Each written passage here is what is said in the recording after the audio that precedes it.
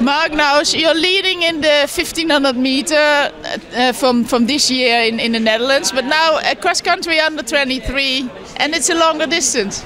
Yeah, yeah, it's uh, a lot, lo- a lot more uh, uh, kilometers than uh, than I'm used to, but very satisfied. Uh, what was your plan with building up the race?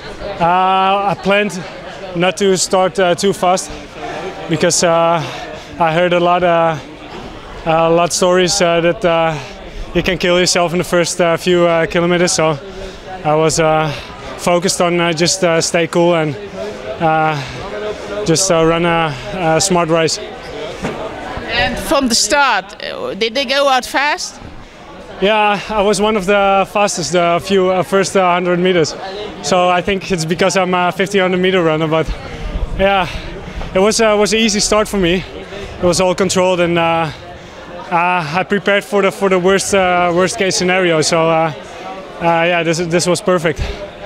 The course, uh, the kind of course, do you like it? Uh, yeah, yeah. It was very hard because uh, you can't.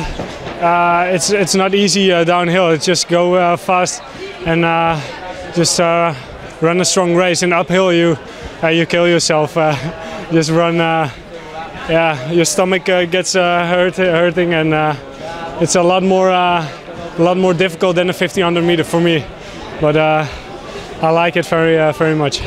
Your PB, your PB in the 1500 meters 341. Uh, What's your next goal in, in the track or indoors?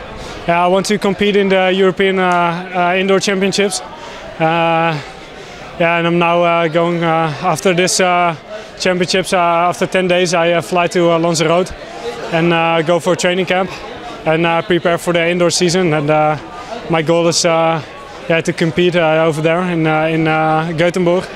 So uh, that's the next stop.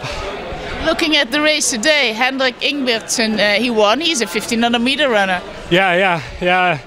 And uh, in the in the past uh, few years, there were uh, a lot more uh, 1500 meter runners who, pro- who have uh, proven that uh, it's uh, possible to run uh, a good uh, uh, cross country race. So uh, yeah, maybe uh, I can uh, yeah, uh, be better in a few years uh, or next year and uh, compete just as fast as the, these guys.